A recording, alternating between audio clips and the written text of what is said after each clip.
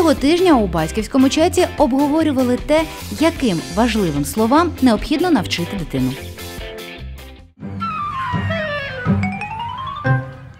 Першим словам мама, папа, бабуся, дідусь. Я думаю, це найперші слова, які дитина вивчає.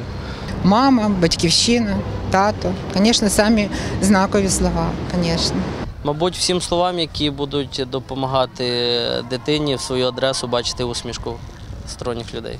слова благодарності, щоб завжди знав, що за що і, і чого він живе на цьому світі. всі перші слова, все воно важливе. І то, що хотілося б, це щоб вона могла сказати, що там її тривожить, чи що там її там оце. Бо коли вона плаче чи не може сказати, і ти не можеш поняти, що на самом деле, що з нею відбувається, то кажеться, хочеться, щоб це вона знала, як сказати, як або хоча б показати, що там, що її без турбує. першою дитиною постійно розмовляла, постійно усе їй розказувала. І навчити можна тільки те, що ти постійно проговорюєш, що ти постійно з дитиною розмовляєш. Тому усі слова потрібні. Особливо мені здається, що не навчиш тим словом, яке не має, яке не має особливого якогось значення для нього. Все, що для нього приємно, він буде говорити. Важливу роль у формуванні особистості дитини відіграє сім'я.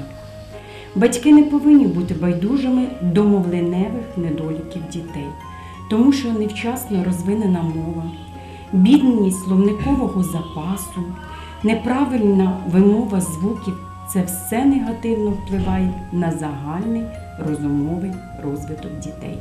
Стоїть задача перед батьками, дорослими, чим більше спілкуватися зі своєю дитиною. Це буде запорука розвитку всіх психічних процесів, тобто мовлення, мислення і взагалі загального розвитку дітей.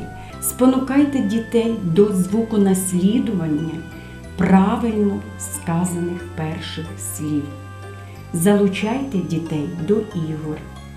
Розповідайте дітям казки, розучуйте з дітьми пісні, загадки, чистомовки, скоромовки, вірші.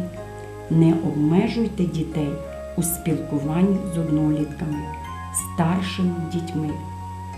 Не повторюйте неправильну вимову дитини. Дитина повинна чути лише правильне мовлення. Залучайте дітей до спілкування. Звертайте велику увагу на запитання дітей. Відповіді дітям повинні бути доступні, чіткі, зрозумілі. Виправляйте мову своєї дитини. Але ніколи не втручайтеся в розповіді дітей. Спочатку вислухайте дитину, а лише тоді виправте помилку.